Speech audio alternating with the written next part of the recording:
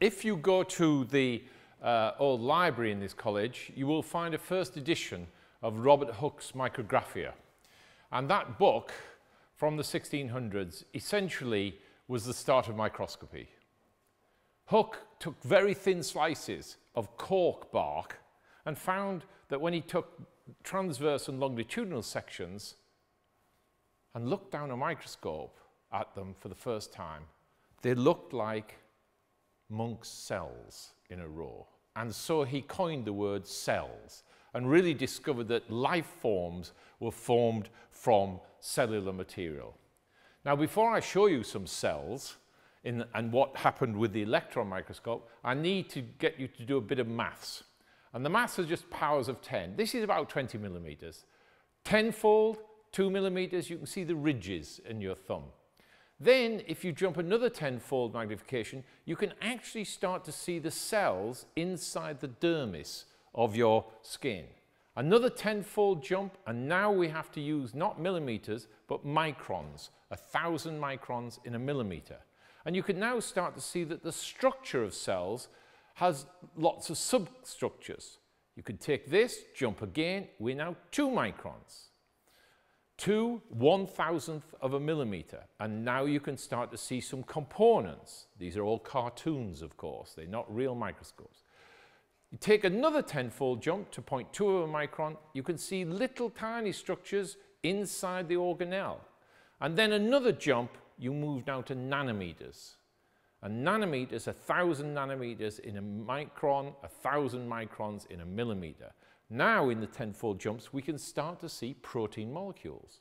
And then another tenfold jump to two nanometers, we start to be able to see atoms of the protein molecule, well, the, the amino acids, and then you can see the atoms in another tenfold. So you can go from your thumb in tenfold jumps, and it's this area that the electron microscope enables us to work in. So when we look, your thumb is in the millimeter centimeter areas up here, and the naked eye can resolve that. the light microscope does cells like Hooke saw, plant cells and animal cells, in these micron areas here, a thousand microns in a millimeter. And the electron microscope can go from atoms to all of these cells across virtually the full scale. Now, it's not just magnification that happens with a microscope but it's resolution. There's no point making something bigger and bigger and bigger if you can't resolve it. And all resolving is, is can you see the gap that there are two thumbs here or one thumb? Can you see the gap between them? So you're measuring, and the small, the best resolution means the better the microscope. And here we have Ernst Abbe, and here's the bit of maths here. And this is his original uh, detection for uh, equation for resolution. Resolution is, uh, is equal to lambda, which is the wavelength of the light, over some other stuff. Now, you know enough about an equation that if you want the resolution to be really very small, you're going to have to either make the bottom of this equation big, or you're going to have to make the top of it very small. The top is the wavelength of the light. You can't do anything about the wavelength of light. It's physics. But if you jump from light to electrons, you get an almost immediate thousandfold better, smaller number here. So your resolution on this side is massively enhanced. And what does that mean? It means you have to build now a very complicated microscope. One is, type is called a transmission. The specimen's put here and you beam the electrons down through it and another one is here, a scanning, where you scan across the surface. So one is doing internal structure of a cell and the other one is doing external. But this is what resolution really means. This is exactly the same magnification of a fungal spore. Groups of fun fungal spores, this is pushing the light microscope. And here you see the electron microscope, it's just idling because it uses electrons which have much lower wavelengths and so you get much bigger uh, resolution, better resolution. So magnification isn't really important in, in microscopy, it's resolution that's important. And that's the kind of scanning EM image you can get, that's just pollen. And so now you can resolve pollen grains in all their intricate beauty and you can see the different types of pollen from different trees very easily in a scanning electron microscope. This is the head of an ant. And here you can see the scanning electron microscope not just magnifying the ant, but resolving it. You can see the compound eye, the antennae, and so on. This is the eye and the proboscis of a moth. And so you see this exquisite resolution that an electron microscope can show you. And this, you're listening to me because in your inner ear, there's a small group of structures.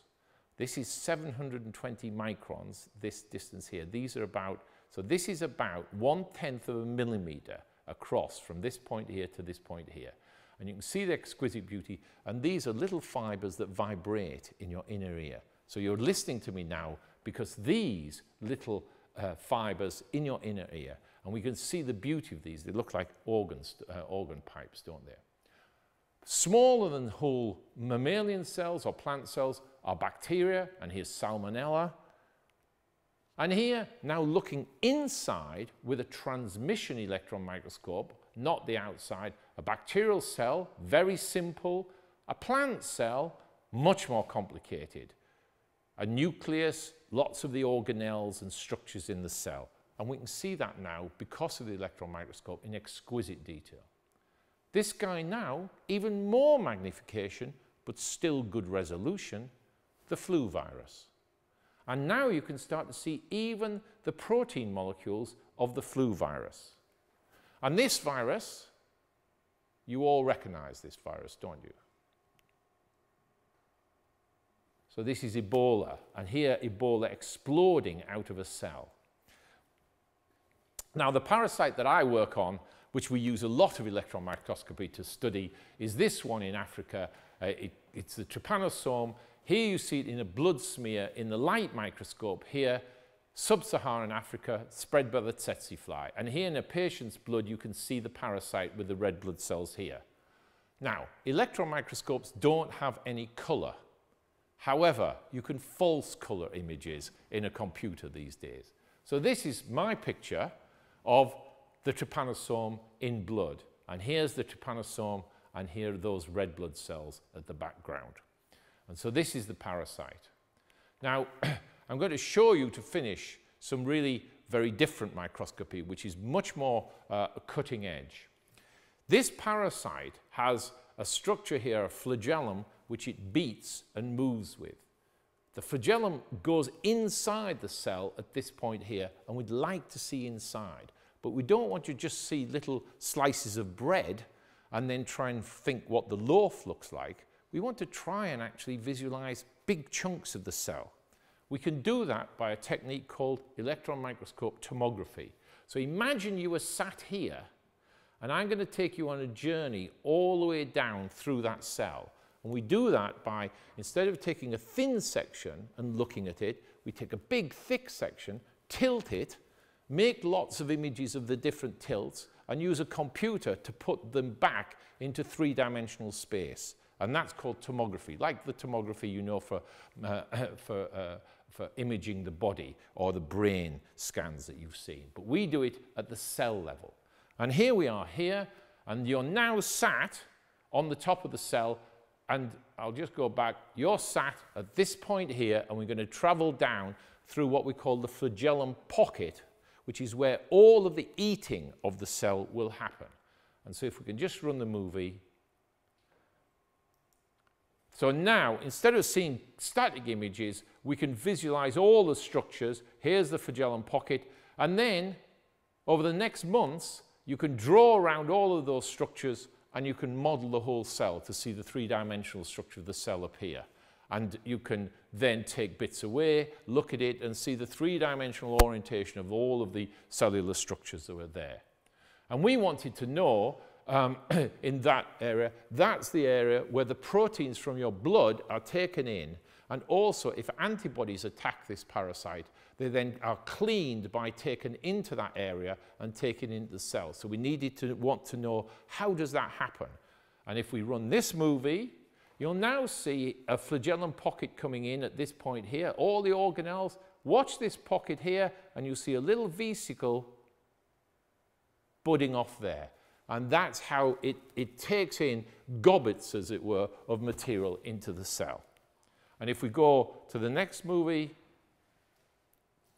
you can see the same cell, but now modeled. Uh, it's not, it's not uh, this is every single structure in here has been drawn around with the computer to build a three-dimensional model, which we can then look at. And that little vesicle is the blue area here. So once we've done that, in the next movie, which I'll move on to, we wanted to know what happens when this divides. There should be two pockets. And we can go through and build a tomogram of a dividing cell. One pocket here, another pocket here. And can it still do this eating process whilst it's dividing? And then, and you can see all this huge, beautiful structure, which actually too little time to tell you about. But here's the model of that dividing parasite that you've seen. One pocket here, another one here, and we can map in spatial terms every one of the vesicles which is taking material in from the plasma that's passed in here and the parasite is eating. And from that we can understand how it's actually getting its nutrition from the body and understand then how we might be able to uh, disable that process. And if you just run this movie, you'll see that now with models like this, you can ask in three dimensions, do these vesicles come off particular parts of the, of the cell and so on and so forth. So what we've been able to do is we've used the electron microscopy really as one of the tools which is so important in biological sciences. And in our work, which we use it with molecular biology and biochemistry, we've enabled this tomographic technique, which is only developed in the last uh, five or six years in biology, to really be able to look at big portions of the cell and then find the three-dimensional spatial uh, aspects, understanding the cell much better. And for us, in this particular small project I've shown you, it was very important to understand actually how the cell was eating as it were, through these vesicles budding off into the cell. And from that process, we can learn a lot about how the parasite operates in the body of the host. Thank you very much.